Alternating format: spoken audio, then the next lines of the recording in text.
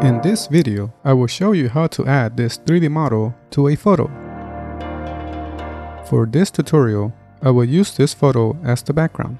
I will create a new solid layer to add to it the Element 3D effect. I will name this layer Element 3D. I will leave the color to be black and select Accept. Now I will add the Element 3D effect to the new layer I just created.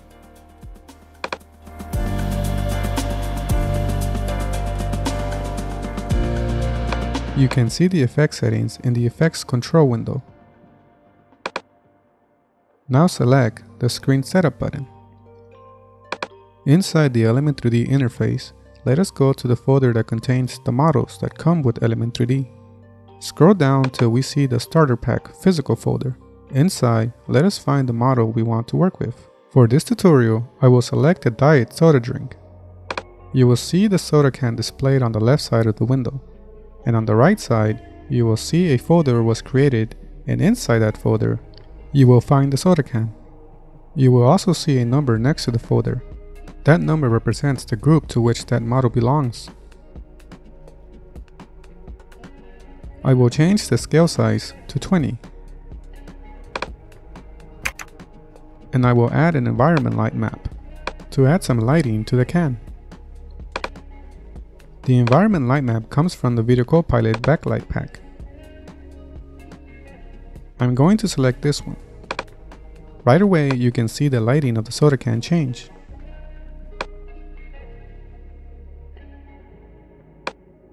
Now I am going to change the soda can's glossiness. Now select the material layer. I'll change the glossiness to 60.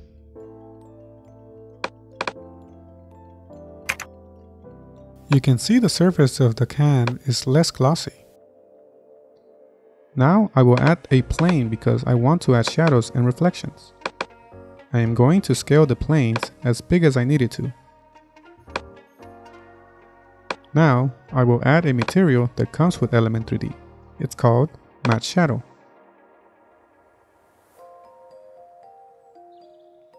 I will click and drag this to the plane model.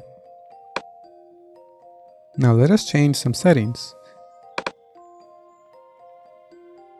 In reflect mode, let us change the mode to mirror surface.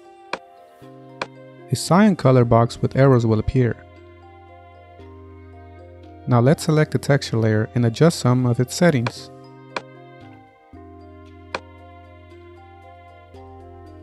Under Advanced, let us check Matte Reflection. And draw back faces. Now under reflection, we're going to change the intensity and you will see the reflection more clear.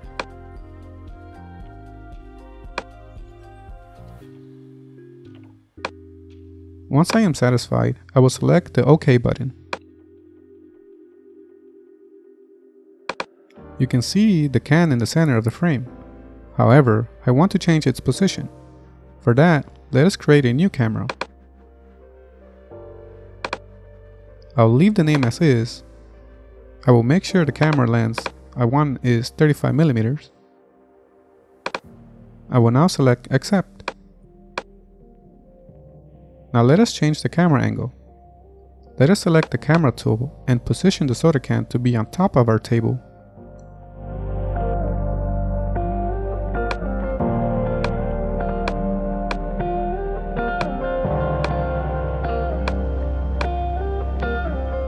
I want to rotate the can, but I don't want to rotate the camera. I want to create a null object to control the can. For that, let us go to Element 3D Effect Settings and under Group 1, we will be creating the null layer. Let us go under Create Group Null and select the Create button. A new null layer will have been created.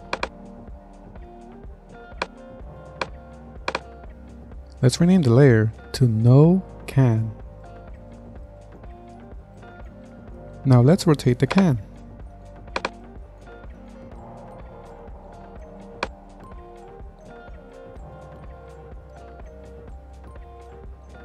Perfect. I now want to add shadows.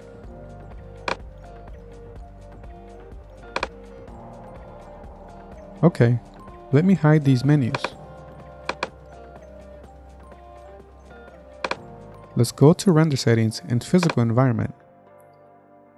For exposure, I will type in 1.4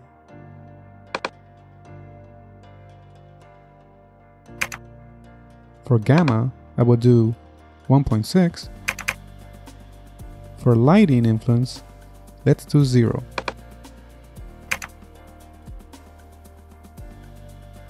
Under lighting, I will add lighting. Let's try this one.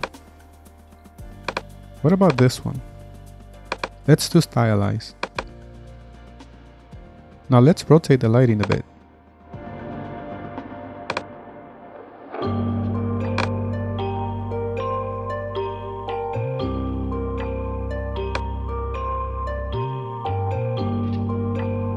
Let's enable ambient occlusion and change the intensity to 7.5.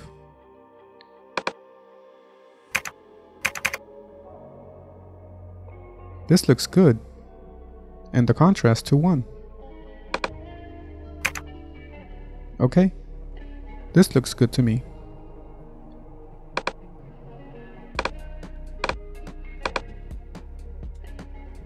I now need to add a shadow. Let's create a new light. The light type I'll be using is Spotlight. I will give it a short name.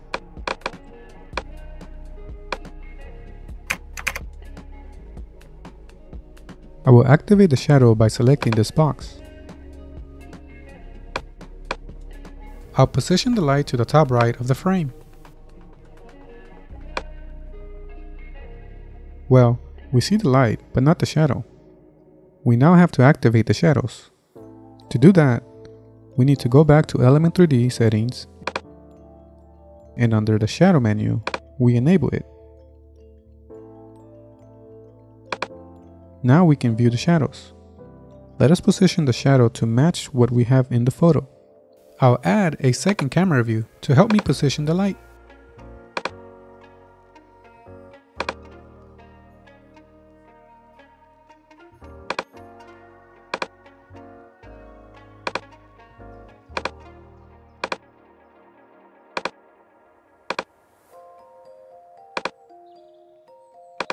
This looks good.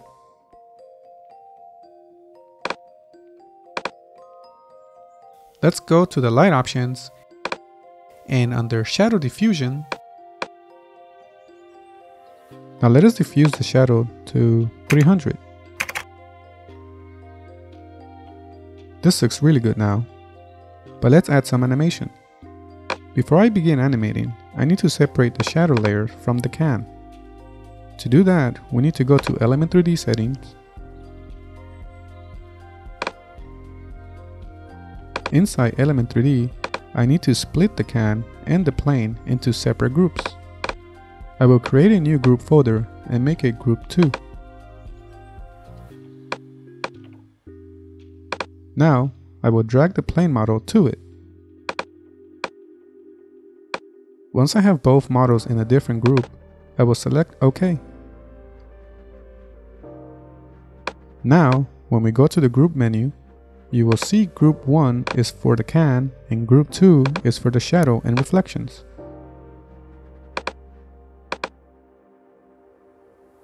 To animate the can, I will use the null layer we created earlier.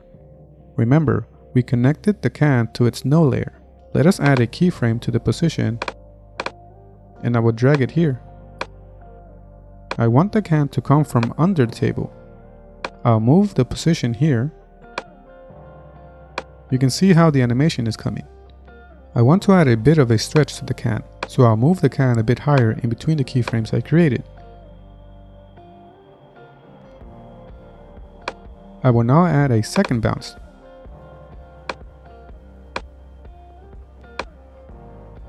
That looks perfect. I will smooth out the animation speed. For that, I will select the keyframe and right mouse click, Go to Keyframe Assistant and select Easy Ease.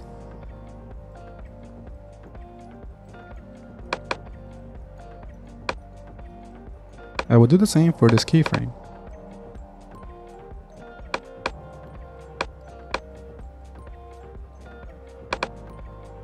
That looks great. I will add more detail animations, but I will fast forward this process as I don't want the video to be long.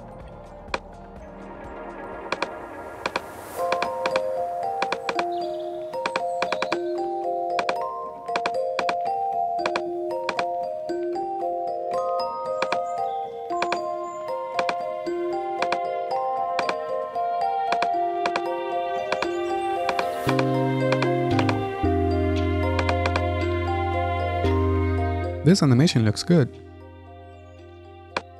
Now we need to fix the table reflection. To fix that, we will need to create a mask. For that, let's create a new solid.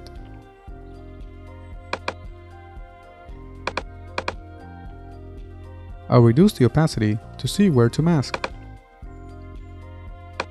Select the pen tool and begin to mask. We want to leave a little bit of room so that the reflection does not end at the edge of the table.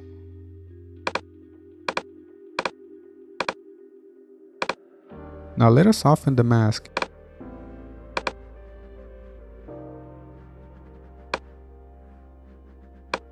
and then increase the opacity to 100 again. Now put the new mask layer to be on top of the Element 3D layer and to the Element 3D layer, change the track matte to alpha matte.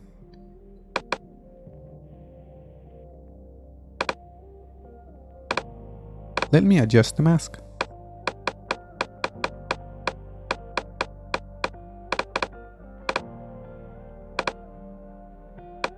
Let's preview the animation. Perfect. I hope you enjoyed this tutorial. If you found this video helpful, please subscribe and leave a like.